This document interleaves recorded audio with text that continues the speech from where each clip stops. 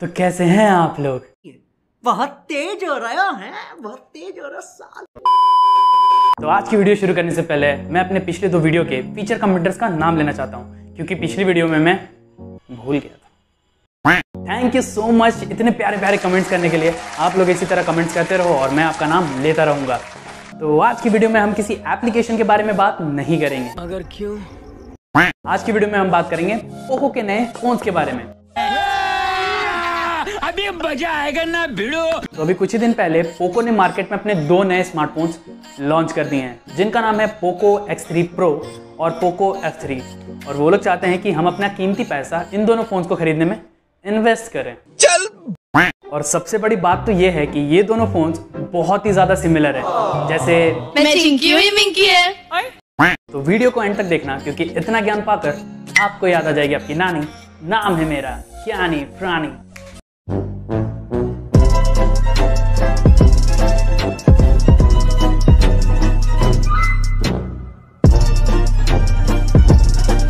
आप में से बहुत सारे ऐसे लोग होंगे जो अभी फ़ोन लेने का सोच रहे होंगे है ना? यस पर क्या आपका इन दोनों फ़ोन में से किसी पे भी इन्वेस्ट करना सही रहेगा?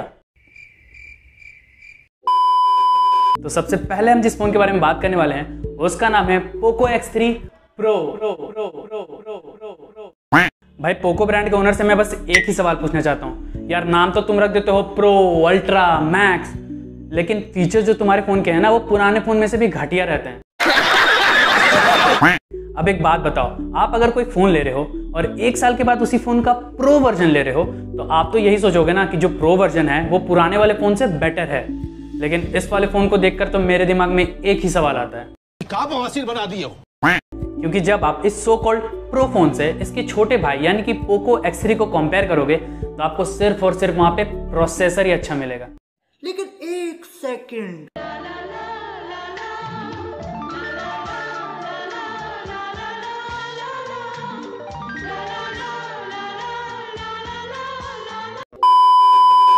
और मुझे तो ये समझ में नहीं आ रहा है कि स्नैपड्रैगन 860 में 4K 60 fps तक रिकॉर्ड करने का ऑप्शन नहीं दिया है जबकि ये स्नैपड्रैगन 845 का पोको F1 इसमें तो दो साल पहले से ही है। अब बात करूँ इस फ़ोन की प्राइस की तो यूरोपियन मार्केट में इस फ़ोन की प्राइस है 250 यूरोस यानी कि 21,500 इंडियन रुपीस और वहीं अभी पोको F1 की प्राइस भाई मैं ऐसा नहीं बोल रहा हूँ कि ये प्रो फ़ोन खराब है लेकिन आप ही सोचो अगर किसी ने पिछले साल पोको X3 परचेज किया होगा और अभी कोई बंदा पोको X3 प्रो परचेज कर रहा है तो वो उसको क्या कहकर चिढ़ाएगा? भाई मेरे फ़ोन में स्नैपड्रैगन 860 है कैमरा कितने मेगापिक्सल का है? गजब बेइज्जती है। अब अगर इससे ज़्यादा मैंने इस फ़ोन के बारे में बोला ना तो पोको ने तो मेरी धुलाई कर देनी है। कुछ पूछा? पूछा मैंने कुछ? तो अब हम बात करेंगे पोको F2 ना ना ना ना ना ना पोको F3 के बारे में। तो आपको अगर याद होगा कि 2018 में पोको F1 लॉन्च हुआ था और उस टाइम पे इस फ़ोन ने मार्केट में ऐसा हंगामा मचा दिया था। मतलब 21,000 में स्नैपड्रैगन 845 मिलना मतलब बहुत बड़ी बात थी। और इस फ़ोन को तो आईफोन X के साथ भी कंपेयर किया गया। तो पोको F1 के आने के बाद हम लोगों ने बहुत दिन तक पोको F2 का वेट किया। लेकिन One eternity later. हमें पता चला कि पोको F2 का तो इन्होंने गला ही घोट दिया है। गला घोट दूँगा और डायरेक्टली लॉन्च कर दिया पोको F3 इस सज्जन को क्या तकलीफ़ है भाई? अब देखा जाए तो फ़ोन तो ये भी बहुत अच्छा है। मतलब स्नैपड्रैगन 870 मिला है तो 4K 60 fps रिकॉर्ड करने का ऑप्शन तो इसमें पक्का।